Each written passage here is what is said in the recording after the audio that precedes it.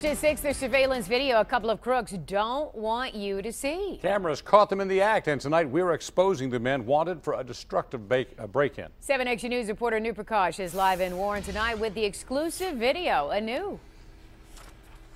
Well, Carolyn, these guys broke in in the middle of the night when the store was closed. Take a look at the spot where they busted through the wall to get inside. It is patched up now, but these guys left behind a big mess and some big clues.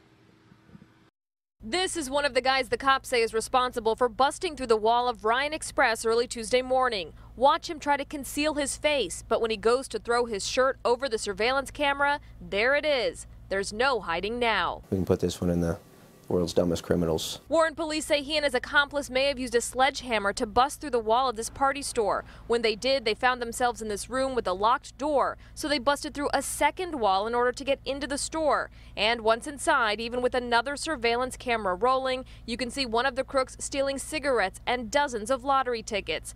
Bashar Zaya owns this place. Go ahead and work and, and earn your living, whatever. Why you come and take something that does not belong to you? Police say these guys also made off with bags full full of bottles and cans ready to be turned in for deposit. The value, almost 500 bucks. While something like this has never happened to Zaya in the 13 years he's owned this store, police believe these crooks have likely pulled this off in other places. Just how, how quick they were, the fact that they obviously knew exactly what they're doing. Seems like they had a pretty good idea of the layout of the building itself, and they have a pretty good idea of how to enter a wall and where the, the weakest parts are going to be. I'm working so hard, working all these long hours just to, to support my family and keep the roof over our head. You know, I don't know. Unfortunately, you know, my luck. But Zaya says he is counting his blessings. First, because no one was hurt, and second, because the crooks left behind some big clues. Those faces. And everything is very clear picture. All of a sudden, he say, "Hey, I am on camera."